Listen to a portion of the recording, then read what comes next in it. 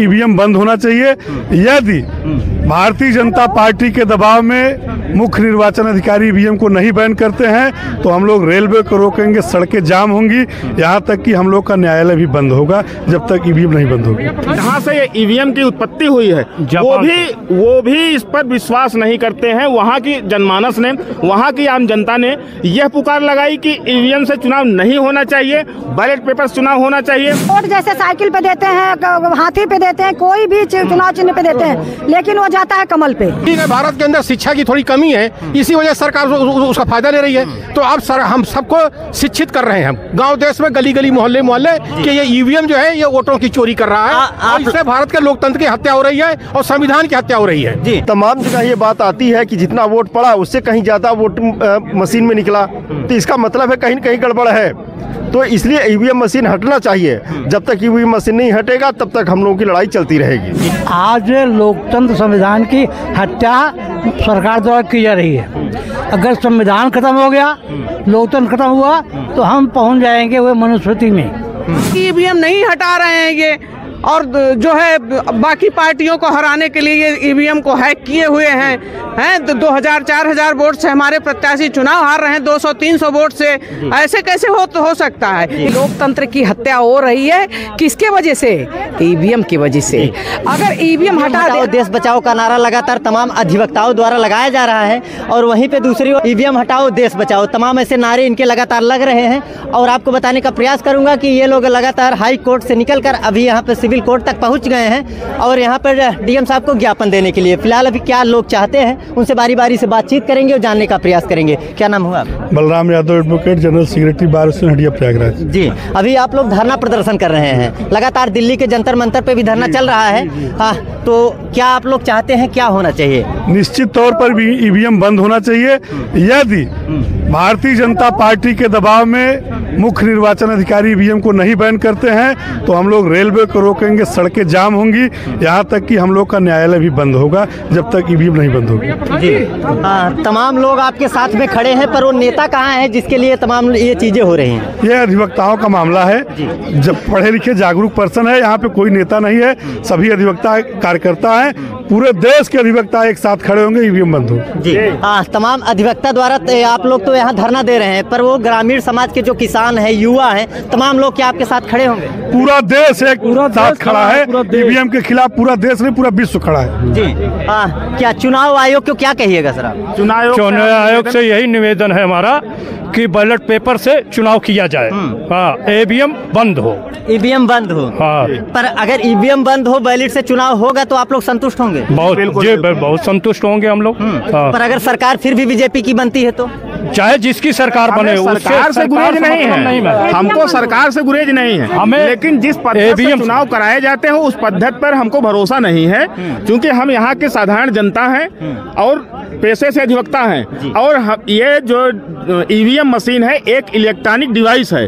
उस electronic device को निश्चित तौर पर जिस तरीके से हम टीवी के टीवी को, को जो है रिमोट से कंट्रोल कर सकते हैं ठीक वैसे ही ईवीएम मशीन को भी हम रिमोट से कंट्रोल कर सकते हैं। इसमें कोई दो राय नहीं है इसको सिर्फ़ हम ही नहीं बोल रहे हैं। सिर्फ़ हमारे द्वारा ये नहीं कहा जा रहा है। पूरे विश्व के जितने भी डेवलप कंट्री हैं जिनके जहाँ से ये ईवीएम की उत्पत्ति हुई है वो भी वो भी इस पर विश्वास नहीं करते हैं। वहाँ की जनमानस ने वहाँ की आम जनता ने यह पुकार लगाई कि ईवीएम से चुनाव नहीं होना चाहिए बैलेट पेपर से चुनाव होना चाहिए और बैलेट पेपर से ही चुनाव होता है। तो हम लोगों की भी डिमांड है कि सरकार चाहे जिसकी बने सरकार से हमको गुरेज नहीं है। हमको अगर गुरेज है तो ईवीएम मशीन से गुरेज है। निश्चित तौर पे अगर हम देश की जनमानस अगर जो है इस बात को कहती है कि आप जो है ईवीएम से वोटिंग ना करा कर आप जो है बैलेट पेपर से चुनाव कराइए तो हमारी जन हमारी जो आवाज़ है निश्चित तौर पर वो चुनाव आयोग के पास पहुँचनी चाहिए और चुनाव जो है निष्पक्ष जो है और जो है बैलेट पेपर से होनी चाहिए। यही हमारी मांग अच्छा, अगर ईवीएम से चुनाव होता है ईवीएम में क्या दिक्कतें हैं? ईवीएम मैंने आपको पहले भी बता दिया है कि ईवीएम एक इलेक्ट्रॉनिक डिवाइस है जिस पर जिस प्रकार जो है टीवी के टीवी को कंट्रोल किया जा सकता है रिमोट से वैसे ही उसको भी कंट्रोल किया जा सकता है। उसमें कोई दो राय नहीं है कि नहीं हो सकता है। जहाँ के जन्मदाता है ईवीएम वहाँ भी वो ये नहीं होता है कि वहाँ पर सर बैलेट में भी हो सकता है। अगर आप बैलेट से वोट देते हैं तो उसमें भी ठप्पा मोहर लग के वोट पड़ सकती है। नहीं ऐसा नहीं होता। वो इलेक्ट्रॉनिक डिवाइस नहीं होता है। उसमें हम वोट देंगे तभी जाएगा। वहाँ धांधली होगी तो उसका अलग विषय होता है। वो लूटा जाता है जो बैलेट पेपर लूटे जाते हैं या जो वो अलग विषय है लेकिन ये अलग विषय है। यहाँ पे तो यह है कि हम वोट दे रहे हैं हम अपनी जिसको सरकार चुनना चाहती है हम बटन वो दबा रहे हैं लेकिन पता चला कि हमारी वोट कहीं तो और चली जाए उसका क्या प्रमाण है कि हम जहाँ दे रहे हैं वहीं हमारी वोट पहुँच रही है। कुछ ग्रामीण समाज के लोग लगातार ये कह रहे हैं कि वोट हम देते कहीं और है पर जाता बीजेपी बिल्कुल है बिल्कुल ये सत्यता है इसमें सही बात है। वोट जैसे साइकिल पे देते हैं हाथी पे देते हैं कोई भी चुनाव चिन्ह पे देते हैं लेकिन वो जाता है कमल पे। जनता भी यही कह रही है। तो जब किसी को नहीं भरोसा चुनाव आयोग जो है ईवीएम मशीन हटा के बैलेट पेपर से चुनाव करा दे। पर अगर ऐसा कुछ होता तो बीजेपी के ही सांसद और विधायक नहीं बनते? नहीं तो वो क्यों विरोध करेंगे? वही तो करवा रहे हैं। हैं? वही लोग तो ये सब करवा रहे हैं। उसको लाभ हो रहा है उसको लाभ हो रहा है थोड़ी ना विरोध करेंगे। विरोध तो जनता कर रही है और हमारे अधिवक्ता कर रहे हैं। तो इसलिए जो है ईवीएम हटाएँ। और बैलेट पेपर से चुनाव कराए चुनाव आयोग को ये चीज़ करना चाहिए। क्या कहेंगे आप? ईवीएम हटाया जाए बैलेट पेपर से वोट कराया जाए बस। बैलेट पेपर से संतुष्ट हैं हम लोग संतुष्ट हैं। हाँ ईवीएम ईवीएम हैक होता है? ईवीएम हैक होता है जैसे टीवी को कंट्रोल किया जाता है रिमोट से उसे ईवीएम को कंट्रोल किया जा सकता है। हाँ, फ़िलहाल अभी यहाँ देख सकते हैं तमाम और अधिवक्ता है उनसे बातचीत करेंगे। क्या नाम मैं अधिवक्ता मैं अधिवक्ता नहीं हूँ मैं एस आर मौर्य मैं इंजीनियर हूँ। और इंजीनियर होने के नाते मैं बता रहा हूँ की इलेक्ट्रॉनिक डिवाइस है और घर बैठे इसको हैक किया जा सकता है। इसमें जो चिप लगी है दुनिया के किसी कोने से बैठ करके इसको आप हैक कर सकते हैं और चुनाव आयोग जो है इसका सोर्स कोड है बता नहीं रहा है। वो बता दे देखिए हम बता देते हैं कितने लोग हाजिर हो जाएँगे। पर दिल्ली के जंतर। मंतर पे वहाँ पे भानु प्रताप अधिवक्ता द्वारा वहाँ पे लाइव दिखाया गया है कि ईवीएम हैकिंग हैकिंग कैसे होता है। तो भानु प्रताप ने दिखाया होगा दिखाने दीजिए। लेकिन ये हैक हो सकती है। सारे इंजीनियर जानते हैं मैं इंजीनियर मैं मैं बता सकता हूँ। मुझे सोर्स कोड बता दीजिए मैं बता दूँगा। कैसे हैक होती है करके दिखा दूँगा। जी। सारे दुनिया के सारे इंजीनियर जानते हैं। ठीक है भारत के अंदर शिक्षा की थोड़ी कमी है इसी वजह सरकार उसका फ़ायदा ले रही है। तो अब सर हम सबको शिक्षित कर रहे हैं हम। गाँव देश में गली गली मोहल्ले मोहल्ले कि ये ईवीएम जो है ये वोटों की चोरी कर रहा है। आ- आप- और इससे भारत के लोकतंत्र की हत्या हो रही है और संविधान की हत्या हो रही है। जी आप लोगों का ये धरना प्रदर्शन कब तक चलेगा? ये अब चलता रहेगा जब तक ईवीएम खत्म नहीं होगी और संविधान जब तक पूरी तरह से लागू नहीं होगा देश के अंदर तब तक चलेगा। हम बी एस कार्यक्रम भी चला रहे हैं। भारतीय संविधान सुरक्षा संविधान संविधान संवर्धन। संरक्षण हम लोग कार्यक्रम भी चला रहे हैं और गाँव गाँव जा रहे हैं कि संविधान लागू करो वरना कुर्सी खाली करो। 2024 लोकसभा चुनाव जल्द सामने नज़दीक में है पर क्या ला- लोगों को आप लोग जागरूक कर पाएँगे? बिल्कुल कर पाएँगे जागरूक। ये अब लहर चल पड़ी है। अब ये गाँव गाँव तक जाएगी और आम जनता जो है इसके खिलाफ खड़ी होगी। जैसे गोरे अंग्रेज़ भगाए गए थे वैसे काले अंग्रेज़ भगाए जाएँगे अब। क्या इनका कहेंगे आप? मैं भी कहता हूँ कि ईवीएम हैक किया जा सकता है। इलेक्ट्रॉनिक डिवाइस हर इलेक्ट्रॉनिक डिवाइस हैक की जा सकती है। जब आप बैंकों के खाते हैक करते हुए देखे जा सकते हैं तो ये वोटिंग मशीन क्यों नहीं हैक किया जा सकता?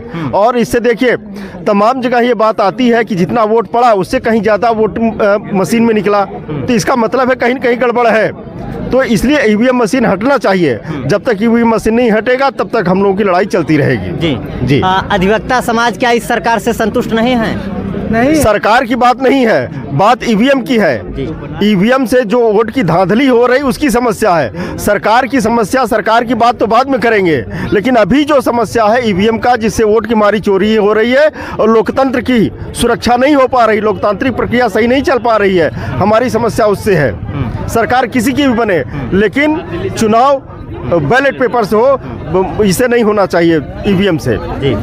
आ, इस बार चुनाव बैलेट पेपर से कराया जाए। जी, बिल्कुल, सभी अधिवक्ता समाज या तमाम लोगों की यही मांग है। जी जी बिल्कुल सभी लोग क्या ये है कि नेता है आ, अभी यहाँ पे आ, क्या अध्यक्ष हैं।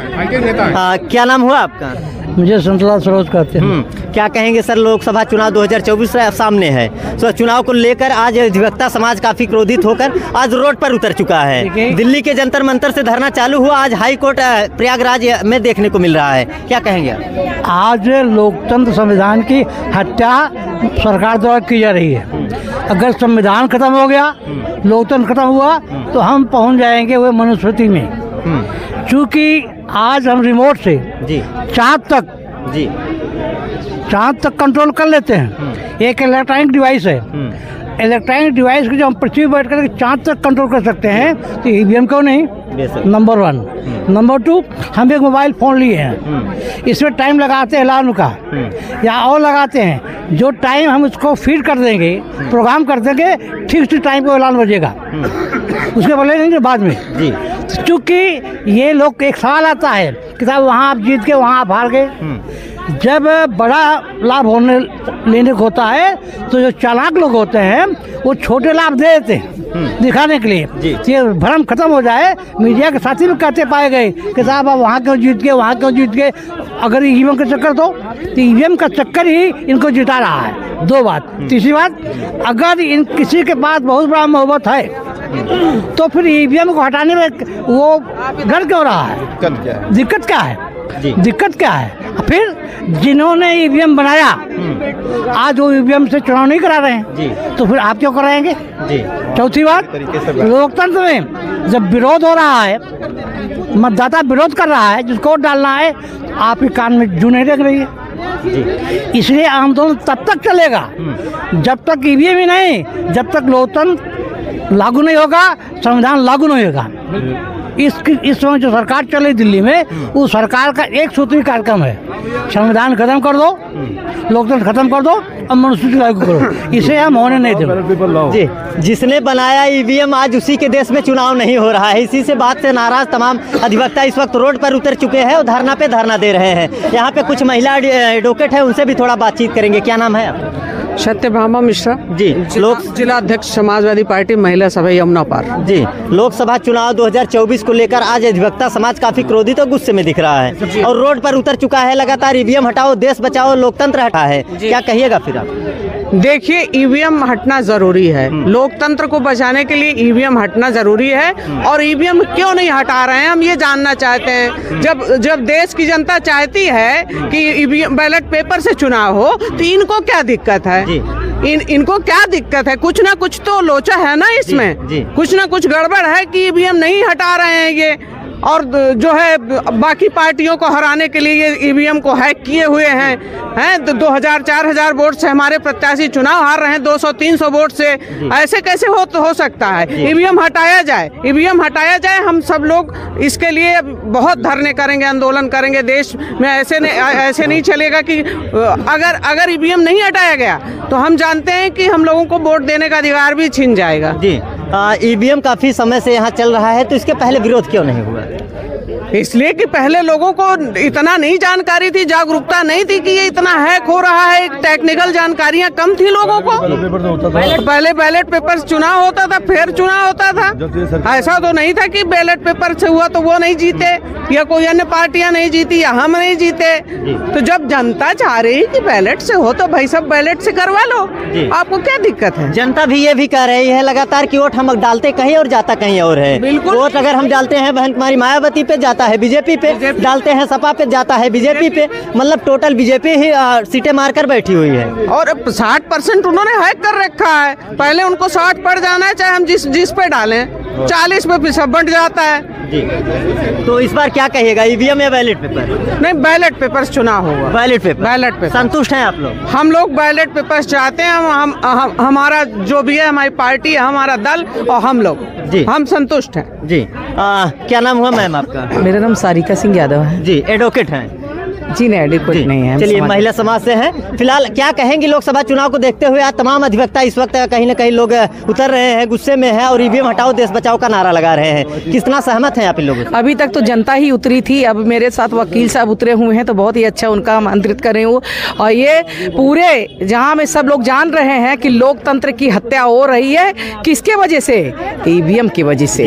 अगर ईवीएम हटा दे अगर उनको फैत है इस बात पे कि मैं जीत रहा हूँ जनता उन्हें जीत रही है तो हमें कोई परेशानी नहीं है। अगर वो एक ही चीज़ कर दे सिर्फ़ सिर्फ़ बैलेट पेपर से चुनाव करवा दें और अगर वो चुनाव में जीत हो जाएगी तो अपनी हार हम लोग मानेंगे। हाँ इतनी बातें कहते हुए मैं कहते हूँ प्रधानमंत्री जी को चाहिए कि अगर इतने हौसले बुलंद हैं उनके तो इनको चाहिए कि जनता की जो मांग है तो जिंदाबाद। तक जनता चाहती है जो चाहती है जनता जनता जो चाहती है है तो आप सही काम करिए जिससे जनता आपके ऊपर विश्वास रखे और आप बैलेट पेपर से चुनाव करा कर ये दिखा दीजिए ना कि मैं अधिवक्ता एकता मैं जो हूँ साफ़ सुथरा हूँ। कोई इसमें घोल वोट गड़ावा नहीं है। ये बटन सही है। अगर अगर आप उससे चुनाव करा देंगे तब।